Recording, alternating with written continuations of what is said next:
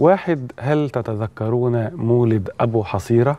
اتكلمنا قبل كده إن كان في مولد في دمنهور اسمه مولد أبو حصيرة وبرضه قلنا قبل كده إن أبو حصيرة مش حاخام يهودي ورغم ذلك اليهود جاءوا سنوات متعاقبة بيحتفلوا بمولد الحاخام أبو حصيرة وقلت أيضا إن دكتور مصطفى الفقي قال لي وهو من أبناء دمنهور إنه أبو حصيرة في جيل الدكتور مصطفى الفقي كان الآباء والأجداد بيقولوا سيدي أبو حصيرة باعتبار إن هو رجل دين مسلم متصوف وإن هو أحد مشايخ الطرق الصوفية فتعمل ليه ضريح بقى ضريح سيدي أبو حصيرة.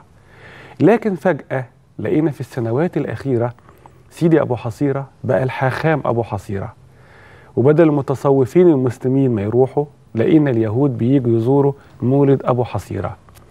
الذي أوقف هذه المهزلة هو المستشار الجليل محمد عبد الوهاب خفاجي اللي أصدر وقتها حكم قضائي بإلغاء مولد أبو حصيرة وإلغاء اعتبار وزارة الآثار لمكان أو ضريح أبو حصيرة مكانا أثريا.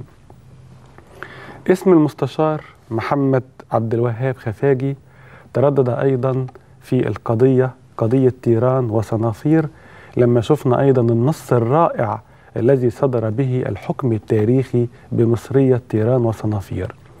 وبأكرر اللي قلته قبل كده إنه لما الإنسان يتأمل النصوص الرفيعة في بعض الأحكام القضائية ونرجع للزمن الكلاسيكي في روعة النص وروعة الأسلوب لما يكون الحكم القضائي ليس مجرد حكم قضائي وإنما نص أدبي رفيع ونص تاريخي رفيع ووثيقة أدبية لا مثيل لها لأن قبل كده كان بعض الأحكام القضائية وحيثيات الحكم في قضايا بتكون أعلى مستوى الروائيين والأدباء والفلاسفة.